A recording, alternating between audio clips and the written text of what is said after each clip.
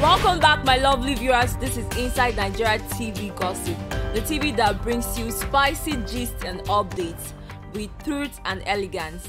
And if this is your first time on our channel, we'd like to welcome you.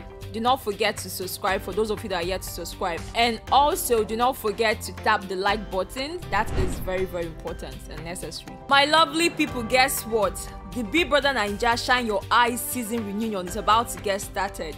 And just so you know, I'll be giving you guys daily reviews about it. I'm so excited and surprised too. You know, I watched the trailer and I saw some clips that portrayed a little bit of violence. And I was thinking because people said this set of housemates were the most peaceful and non-toxic housemates. So where is all of this violence coming from? I think to an extent, Boma and Beatrice almost fought. Well, I hope you all are ready for the drama, the violence, the secrets that are going to be spilled because you know it's not everything that Kayode actually showed us on the screen.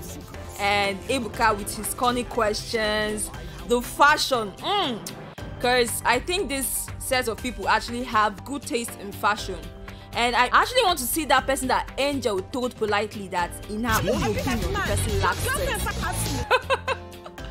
please, please, that was the most polite way to insult someone. I don't know. Who do you think she was referring to? You can tell me in the comment section below. So it's going to be aired from the 2nd of June on Africa Magic Urban by 10 p.m.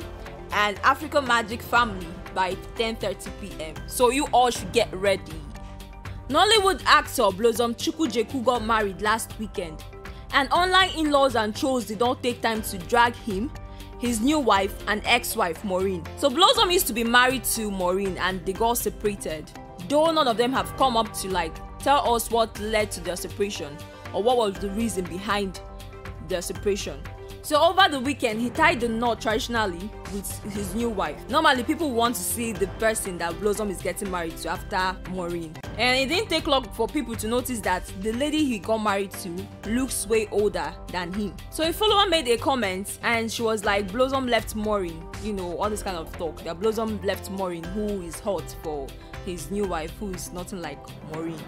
And Maureen, known as Red Vigo on Instagram, laughed. Hey! Come and see dragging like people drag the living daylight out of her because of that comment that she made. Insults from left and right center up and down.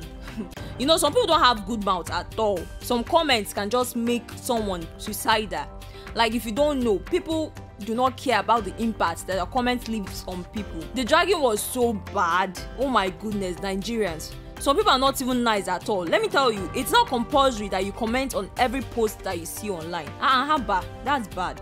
Eh so you guys remember that last week i told you all that an accountant general was arrested? Accountant general of nigeria mr idris was arrested by the efcc for allegedly stealing 80 billion naira. And this week another accountant general this one the accountant general of rivers state mr fubara has been declared wanted by the efcc for allegedly stealing a whopping sum of 435 billion naira criminal conspiracies and abuse of office. Now i don't know if this is a kind of challenge trend or bet on who steals the highest amount of money. And how much did asu even say they even want again? You know what? We only get to hear the ridiculous amounts of money these people steal but we never get to see it. Same storyline all the time. And guess what?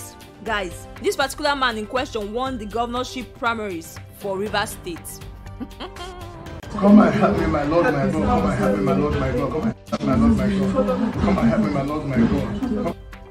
I never knew all these politicians actually know God. Like they know how to pray and mention God. But when they were busy laundering money from people's sweat, they did not call God. Now if you had seen the way Rochas Okorocha former governor of Imo State, was praying in his house when EFCC came to arrest him. I swear, you think he's a pastor.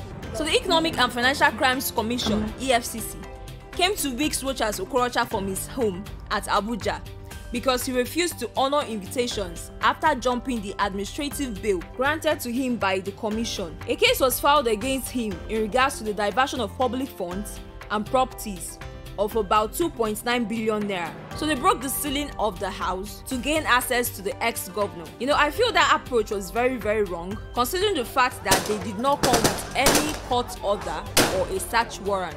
But what do you expect from a country like Nigeria that is so lawless? You know, I used to wish that the news I will bring in online would just be positive news. But with the current situation in Nigeria, guys, I don't know what this country is turning into. So on Sunday, 22nd of May, seven people were gunned down, including a pregnant woman and her four children. They were shot by unknown gunmen claimed to be members of the IPOB, IPOB. Now, according to some sources, they said the woman named Arira Jibrin, came to visit her relatives in Anambra State, Orumba North local government area. Unfortunately, she and her four kids were killed. You know, one of the objectives of the members of the IPOB is to promote peace, security, domestic stability, respect for human rights, and overall commitment to the improvement of the society and peaceful coexistence of all people. Now, I feel if you're angry with the government, you should channel your anger and pain to the government and not to innocent people who are going through the same agony and frustration like you. Now, there is no justification for the killing of Fatima and her kids in such manner, and this act should be treated as terroristic act and the government should not relent in melting out justice for them. Now, while the family of this pregnant woman is seeking justice for both her and her four children who were killed, another family has been thrown into mourning and they are also seeking for justice after their son, Mr. Uzoma Chidera, a 19 year old logistics driver, was accused of bicycle theft by a logistic company known as Errand 360 he was arrested and detained, and after some days, he was found dead at Ikoyi prison. Now, how can you arrest someone because of a bicycle? And just so you know, guys, this is the story. Chidera was a logistic driver, and one day he came back from work, parked the bicycle outside his house, and that bicycle got stolen. He went to report to the errand 360 whatsoever that the bicycle was stolen, and they arrested him because of it.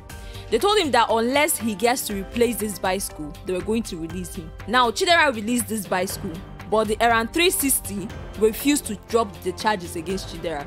Therefore, the police still held him in the prison. He fell sick, according to the police people, that he fell sick and after some time he died. Now, my question is why didn't you inform the family that this boy fell sick in the prison so they would have known what to do? Or you would have given this guy medical attention while he was still in prison? Now, you left this young man to die and you're out here telling us that he was sick. So people don't fall sick in prison and they get treated. Is that what you're trying to say?